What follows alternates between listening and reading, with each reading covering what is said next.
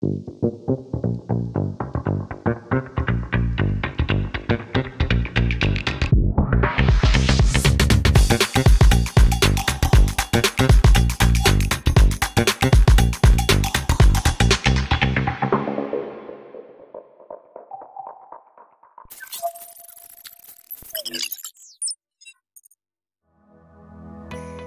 ผู้ชมครับ ตอนนี้ผมอยู่ที่ Studio 7สาขา Future Park รังสิต ต้องบอกว่าที่นี่ได้รับการอัปเกรดให้เป็น Apple Premium Partner เป็นที่ที่ 2 นะครับ ของทางฝั่ง Studio 7 ก่อนหน้านี้เราเคยพาไปทัวร์ Studio 7 ที่เซนทันพิษณุโลกกันไปแล้ว ผมพามาดูที่ร้านนี้ครับ ต้องบอกว่าเป็นร้านที่ใหญ่ที่สุดถ้าเป็น Apple Premium Partner นะครับ ใหญ่ที่สุดในประเทศไทยเลยนะฮะมาดูบรรยากาศภายในร้าน ถามว่า Apple Premium Partner มีความแตกต่างอะไรจากทางฝั่งร้าน reseller ต่างๆ แม้กระทั่งของทางฝั่ง Studio 7 เองนะครับ Apple Premium Partner เขาจะมีการดีไซน์แบบใหม่ครับ เดี๋ยวผมพาไปทัวร์ในแต่ละจุดว่าเป็นอย่างไร แต่ว่านอกเหนือจากการดีไซน์แล้วอะเขายังมีในเรื่องของการบริการที่ถือว่าเป็น one stop service ทั้งบริการการขาย การให้บริการคำแนะนำมีเวิร์กช็อปต่างๆนะครับ มีครบเลย มี trade อง trade in อะไรเยอะแยะมากมายนะครับ แต่ก่อนอื่นนะครับ พอเราเดินเข้ามานะสิ่งแรกที่เราจะรู้สึกเห็นถึงความแตกต่างเลยนั่นก็คือเรื่องของพื้นครับ เราเดินเดินเข้ามาเสร็จปุ๊บเอ้ยทำไมมันดูพื้นแบบนุ่มนิ่มจังนะฮะ นั่นคือการดีไซน์ของพื้นแบบใหม่ของเขานะครับ คือเราจะเห็นเป็นลูกฟูกลูกยางแบบนี้นะ ถ้าใครเคยเข้าไปในฟิตเนสนะฮะพื้นจะเป็นลักษณะประมาณเดียวกันนะฮะเพราะว่ามันจะมีการรองรับน้ำหนักนะฮะเวลาที่อุปกรณ์เราตกลงไปนะครับผมเคย drop test ไว้ละนี่ผมจะไม่ drop test ซ้ำนะครับคือเรามีของเผื่อตกกระแทกเข้าไปนะครับมันก็จะมีการ support ที่ดีมากยิ่งขึ้นนั่นเองนะครับอะโซนแรกพอเราเดินเข้ามาเสร็จปุ๊บเนี่ยในร้านเป็นโต๊ะสี่เหลี่ยม เราจะเห็นดีไซน์ของโต๊ะมีความคล้ายคลึงกันนะฮะเป็นผิวไม้นะฮะดีไซน์สวยงามแล้วก็มีขอบมนๆ ให้ล้อตาม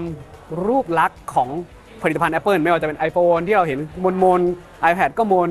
Mac ก็มนนะฮะ พวกอุปกรณ์ต่างๆ บนโต๊ะเนี่ยก็เลยดีไซน์เป็นแบบนั้นนะฮะ โซนนี้ที่ผมยืนอยู่เขาเรียกว่า Flex Bar Flex Bar คือสิ่งที่จะรวมว่าอุปกรณ์รุ่นใหม่ล่าสุดนั้นน่ะที่เพิ่งเปิดตัวออกมานั้นมีอะไรนะครับ ก็จะมีตัวอย่างมาวนเวียนกันไปเรื่อยๆ อย่างเช่นตัวเนี้ยก็จะเห็นทางฝั่งของ iPhone 14 Series อยู่ตรงนี้นะครับ แล้วก็ทางฝั่งของ iPad Gen ที่ 10 นะฮะ อยู่ตรงนี้ด้วยเช่นกันนะครับ พอขยับจากทางโซน Flex Bar มาปุ๊บเนี่ย ถ้าแบ่งเป็น 2 ฝั่งนะเขาจะเป็น Product Experience Zone นะครับ แต่ตัวนี้จะขยายทางฝั่งของ Flex Bar มาก่อน เพราะว่า Flex Bar นี่เป็นโต๊ะเล็กเนาะ ตอนนี้จะขยายขึ้นมา แล้วเขาจะมีอุปกรณ์อื่นเพิ่มเติมเลย อย่างที่บอกครับของใหม่ล่าสุด ถ้าเป็นซีรีส์ของ iPhone คือ iPhone 14ซีรีส์มี iPad มี Apple Watch ซีรีส์ 8 นะครับ รุ่นล่าสุดมีหูฟังที่เป็น AirPods Max AirPods Pro แล้วก็นี่ครับ รุ่นใหม่ล่าสุดเลย ที่เพิ่งวางขายออกมานะครับ ตัวนี้คือ MacBook Air 15 นิ้ว ขนาดใหญ่บางเบา และถือว่าเป็นแล็ปท็อป 15 นิ้วที่บางที่สุดในโลกนะฮะที่เราเพิ่งปล่อยรีวิวเนี่ยเห็นไหมว่าตัวนี้เปิดตัวไปเมื่อมิถุนายนที่ผ่านมาเอง แล้วก็นำมาวางขาย นี่อย่างที่บอกครับเป็นสินค้าใหม่ เขาจะนำมาวางในโซนนี้นะครับ คือเราเดินเข้ามาในหน้าร้านอะ เราจะเจอเลยเนี่ยคือของใหม่ล่าสุดละเขาไม่ได้เอาของเก่ามาวางให้เราดูนะ แล้วคราวนี้พอเราขยับมาด้านนี้ครับ โซนนี้เองเขาจะเรียกว่า Product Experience Zone Product Experience Zone เขาจะแบ่งเป็น 2 ฝั่งนะครับเขาจะแบ่งเป็นโต๊ะของ iPhone นะฮะ iPhone นะครับจะมีทุกซีรีส์เลย ถ้าเราเดินเข้ามานะ ไม่ว่าจะเป็น iPhone 14 iPhone 14 Plus iPhone 14 ซีรีส์ธรรมดา รุ่น Pro ก็มีนะครับ แล้วก็ทางฝั่งของ AirPods รวมกัน คือถ้าเราดูเผินๆนะ เหมือนเราเดินเข้าไปชมที่ Apple Store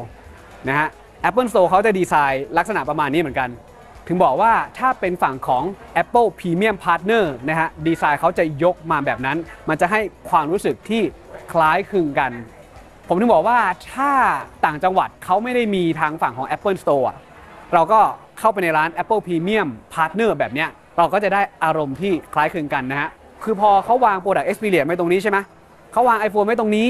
แล้วหลังถัดไปคือเขาจะวางพวกอุปกรณ์ที่เป็นอ c เซสซอรีของทางฝั่ง iPhone เลย ดูเครื่องปุ๊บอะอยากจะได้เครื่อง แล้วมาดูอุปกรณ์เสริมต่อเลย ไม่ว่าจะเป็นพวกเคสต่างๆนะฮะทั้งเคสของทางฝั่ง Apple เอง หรือว่าเคสของ Third Party ก็สามารถเลือกได้เช่นกันนะครับ ตรงข้ามของ iPhone ก็จะเป็นทางฝั่งของ Apple Watch นะครับ Apple Watch ก็จะมีให้เราได้ดูว่ามีรุ่นไหนรุ่นใหม่อะไรต่างๆ วางไว้ อย่างตัวเนี้ยมีทั้ง Series 8 มีทั้ง Apple Watch Ultra นะครับก็เอามาวางให้เราได้ experience ได้ลองจับได้ลองสัมผัส มีสายต่างๆ ให้เราได้เลือก ไม่ว่าจะเป็นสายพวกสายผ้าสายลูปอะไรต่างๆนะครับมีให้เราได้ทดลองนะครับดูข้อมูลต่างๆ และเช่นกันครับด้านหลังก็จะเป็นฝั่งของอุปกรณ์เสริมนะฮะ Apple Watch ตรงนี้นี่เลยฮะอยากได้อุปกรณ์เสริมของ Apple Watch ก็มาเลย ไม่ว่าจะเป็นสายทาง Apple เองนะฮะอุปกรณ์เสริมของแบรนด์ Third Party ก็มีมาให้นี่นะฮะไอเดียโดยรวมคือถ้าเป็นฝั่งของ Product Experience Zone จะมีการนำสินค้าตัวหลักเอามาวาง แล้วก็จะมีอุปกรณ์เสริมให้เราได้เลือกเลย เราไม่ต้องดูสินค้า แล้วก็เดินไปอีกมุมอื่น เพื่อที่จะดูอุปกรณ์เสริมสำหรับอุปกรณ์นั้นๆที่เรากำลังดูนะครับ และมาในฝั่งของ iPad นะฮะ ก็จะอยู่ทางด้านโซนซ้าย หลังจากที่เราเข้ามาในร้านนะครับ ลักษณะคล้ายคลึงกันกับทางฝั่งของ iPhone แล้วก็ Apple Watch มี iPad มาให้เราได้ดูได้ชมนะฮะไม่ว่าจะเป็น iPad รุ่นใหม่ล่าสุดอย่าง iPad Pro 12.9 นิ้ว ชิป CPU M2 iPad Pro 11 นิ้วนะครับ หรือว่าทางฝั่งของ iPad Air รุ่นที่5ชิป CPU M1 ก็มาวางไว้ตรงนี้ มี Apple Pencil มาให้ ได้ลองขีดเขียน มีข้อมูลโปรดักต์เปรียบเทียบว่า iPad แต่ละรุ่นนั้นเป็นอย่างไรรุ่นไหนที่จะเหมาะสมกับเรานะฮะแล้วก็ iPad mini 6 ก็มี iPad Gen ที่ 10 ก็มีนะครับ ก็มาลองเลือกดูนะฮะเหมือนกันครับด้านหลังเป็นฝั่งของอุปกรณ์เสริมสำหรับ iPad และถัดจากฝั่งของ iPad นะครับ นั่นก็คือในฝั่งของ Mac นี่ Mac เรียงรายเต็มเลยนะ นอกจากการโชว์ Mac แต่ละรุ่นที่เขามีอยู่ตรงนี้ไม่ว่าจะ MacBook Air MacBook Air ก็จะมีทั้ง 3 ขนาดนะ MacBook Air Chip CPU M1 นะฮะ 13.3 นิ้ว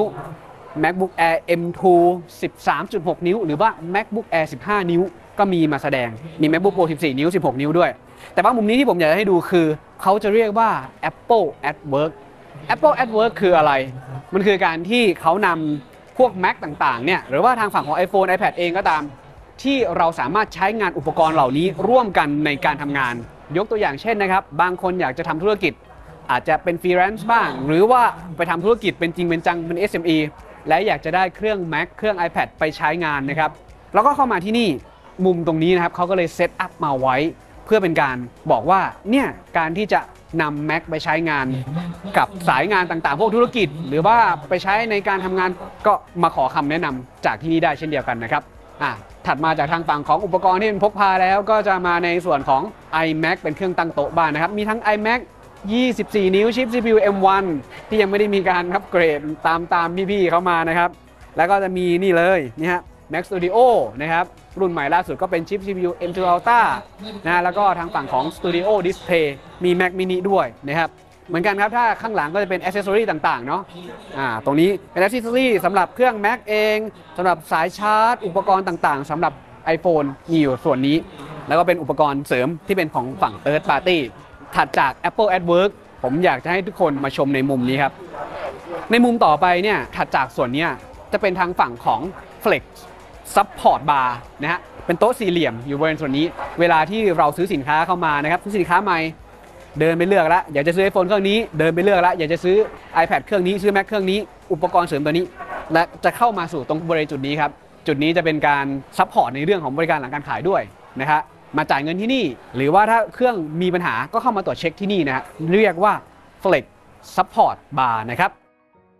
และอยู่ในโซนเดียวกันกับ Flex Support Bar นะครับด้านหลังส่วนนี้คือ Support Table นะฮะเราจะเห็นว่าเขาจะมี Support Table อยู่ 2 ตัว ถามว่าส่วนนี้ใช้ทำกิจกรรมอะไรบ้างเขาจะมีการจัดทำเวิร์กช็อปครับ อย่างที่เราเห็นอยู่นะตอนนี้ก็จะมีการจัดทำเวิร์กช็อปอยู่ ให้กลิ่นอายเหมือน Apple Store เวลาที่เราเข้าไปเรียนอะไรต่างๆนะเขาจะมีคอร์สต่างๆ มาให้ คือในหน้าเว็บไซต์ของทาง Studio 7เนี่ยเขาจะบอกเลยว่าวันนี้เขาจะมีคอร์สนี้ขึ้นมา ถ้าเราสนใจเราสามารถไปดูข้อมูลนะตรงนั้น และลงทะเบียนผ่านออนไลน์มานะครับก็จะมีการนำเสนอแบบนี้แหละอ่ามีเทคนิคต่างๆไม่ว่าจะสอนเรื่องของ iPad Mac iPhone การทำงานต่างๆเนี่ยหรือถ้าใครอยากสะดวกนัดเวลาซื้อเครื่องไปแล้ว อยากจะใช้งานให้มันเก่งขึ้นให้มันคล่องขึ้น หรือว่ามีข้อสงสัยอะไรต่างๆ ก็สามารถนัดกับเจ้าหน้าที่ได้นี่ครับนี่คือส่วนของ Support Table นะครับมีถึง 2 ตัวนะครับและถัดไปก็จะเป็นทางฝั่งของการแสดง AirPod ด้วยนะครับ AirPod Pro AirPod รุ่นที่ 3 อะไรต่างๆ พร้อม Accessory เกี่ยวกับด้านเรื่องของเสียงนะครับก็มีให้เช่นเดียวกัน นอกจากทางฝั่งอุปกรณ์เสริมของทาง Apple แล้วนะฮะมี Third Party อย่างที่เราได้เห็นตัวอย่างใกล้ๆของผมเนี่ยก็จะเป็นพวกลำโพงจาก Third Party นะ JBL บ้าง B&O บ้าง d f u n บ้างนะครับ Harman Kardon บ้างมีครบทั้งหมด และมาสรุปกันนะครับ Apple Premium Partner สาขาที่ 2 ของทางฝั่ง Studio 7 นะครับ ที่ Future Park ลังสิตตัวเนี้ยต้องบอกว่าถือว่าเป็นอีกที่หนึ่งที่มีขนาดใหญ่นะครับ ซึ่งสาขานี้นะครับ มีพื้นที่การให้บริการมากกว่า 300 ตารางเมตรเลยทีเดียวนะครับ ถือว่าเป็น Apple Premium Partner ที่ใหญ่ที่สุดในประเทศไทย นอกจากการขายสินค้า การเทรนนิ่งนะฮะถามว่าที่นี่มีอะไรอีก เขายังมีในเรื่องของเซอร์วิสคือพวก i Care นะฮะถ้าใครมีอุปกรณ์เสียอุปกรณ์พัง และยังอยู่ในประกันอยู่ในวารันตี เดินเข้ามาที่นี่ได้ เพื่อมาขอใช้บริการ ไม่ว่าจะเปลี่ยนแบต ซ่อมหน้าจอแตก หรืออะไรต่างๆ ที่มันเกี่ยวข้องกับเรื่องของดูแลหลังการขายมาที่สาขานี้เลยก็ได้นะฮะและในด้านการศึกษาที่นี่ก็สามารถ support ได้เช่นเดียวกันนะครับไม่ว่าจะเป็นนักเรียนที่โรงเรียนนั้น ได้ทำการลงทะเบียนไว้กับ Studio 7เอาไว้ ก็สามารถมารับบริการมาซื้อสินค้าในราคาเพื่อการศึกษาได้นะครับมาสอบถามข้อมูลเพิ่มเติมได้ หรือว่าใครที่ทำธุรกิจนะครับเขาก็จะมี Apple for Business ให้ด้วยมาให้คำปรึกษาที่นี่ด้วยเช่นเดียวกัน ที่นี่ก็มีโปรโมชั่นหลากหลายครับ ไม่ว่าจะเป็นการผ่อนที่นานสูงสุดถึง 36 เดือนนะครับก็มาชมได้ และนี่นะครับก็เป็นภาพรวมของ Apple Premium Partner สาขาที่ 2 ของ Studio 7ใหญ่สวยและก็ one stop service ครบทุกอย่างที่คุณต้องการนะครับ ถ้าหากใครต้องการมาชมที่สาขานี้นะครับ อยู่ที่ ห้างสรรพสินค้าฟิวเจอร์พาร์ครังสิตนะครับบริเวณชั้น2นะฮะเปิดให้ทำการทุกวันนะครับสามารถมาดูข้อมูลต่างๆได้เดี๋ยวผมขึ้นข้อมูลไว้ให้ว่าเขาเปิดทำการเมื่อไหร่บ้างนะครับโอเคครับวันนี้ก็พาทัวร์กันเท่านี้ครับสำหรับร้านนี้ไว้เดี๋ยวพบกันในรอบหน้านะครับก่อนจากการฝากกดติดตามที่ช่อง i m o d Official ของพวกเราด้วยนะครับไว้เดี๋ยวเราพบกันในรอบหน้าในคลิปนี้ผมต้องมาขอตัวลาไปก่อนขอบคุณและสวัสดีครับ